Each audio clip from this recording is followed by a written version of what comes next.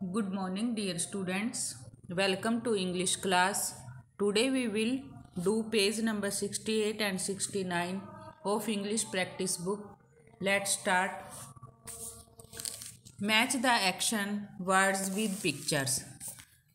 बेटा हमने जो ये एक्शन वर्ड्स दिए हुए हैं हमने इन पिक्चर के साथ इनको मैच करना है देखो फ़र्स्ट है सीटिंग सीटिंग मीन्स बैठना देखो, इसके साथ हम मैच करेंगे इसको सीटिंग को, जो ये गर्ल्स चेयर के ऊपर बैठी है। नेक्स्ट है डांसिंग तो डांसिंग को हम, ये देखो, ये डांस कर रही है, इसके साथ इसको मैच करना है। नेक्स्ट है ईटिंग देखो पिक्चर में, कौन खा रहा है, खाता हुआ कौन नज़र आ रहा है, ये बच्चा। तो हमने इसके साथ मैच करना है। फिर प्लेइंग प्लेइंग में, देखो, ये बच्चा खेल रहा है बॉल के साथ। इसके साथ मैच करना है। टोकिंग, इसको हमने इसके साथ मैच करना है। ये आपस में दोनों बच्चे बात कर रहे हैं जो। फिर है फ्लाइंग फ्लाइंग मीन्स उड़ना। देखो ये नीचे पक्षी हैं जो ये उड़ रहे हैं। हमने इनको इसके साथ मैच करना है। फिर राइटिंग राइटिंग देखो ये लिख रहा है। ये हैंड नज़र आ रहा है। पेन है हाथ में। इसके साथ मैच करना है। रनिंग। रनिंग, देखो बेटा ये यहाँ पर रनिंग कर रहा है ये बच्चा। तो हमने इसके साथ जो ये दौड़ रहा है, इसके साथ मैच करना है। उसके बाद है लाफिंग देखो लाफिंग कौन कर रहा है, हंस कौन रहा है? ये इसके साथ मैच करना है। फिर उसके बाद स्लीपिंग देखो स्लीपिंग कौन कर रहा है? ये बच्चा सो रहा है ना, इसके साथ मैच करना है।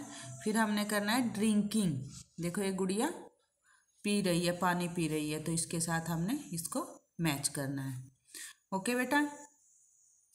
अब हम नेक्स्ट पेज करते हैं sixty nine number the boxes to show the correct order of the words in the sentences देखो जो ये बॉक्स में वर्ड्स दिए हुए हैं, इनको हमने नंबर करना है। Then write the correct sentences below in the given space और हमने यहाँ पर करेक्ट सेंटेंस बनाना है, यहाँ पर लिखना है। अब देखो फ़र्स्ट है प्लेइंग टॉम इज़ तो हमने इसको नंबर लगाना है सही? तो T O M Tom one Tom is playing तो हमने ऐसे ही नंबर लगाना है टॉम पे वन इज़ पे टू और प्लेइंग पे थ्री तो अब हम राइट कर देंगे नीचे टॉम इज़ प्लेइंग फिर सेकंड है, ऐसे ही सेकंड है। इसको भी हमने ऐसे ही नंबर करना है टीम इज़ रीडिंग तो हमने इसको यहाँ पर राइट करना है टीम इज़ रीडिंग थर्ड है द जंपिंग इज़ फ्रॉग तो हमने ये कैसे बनाना है sentence the frog is jumping the frog is jumping अब फोर्थ है गर्ल इज़ होम कमिंग इसको हमने करेक्ट राइट करके राइट लिखना है। जैसे girl is coming home girl is coming home okay बेटा, ये आपने नीट एंड क्लीन साफ़ और सुंदर काम करना है।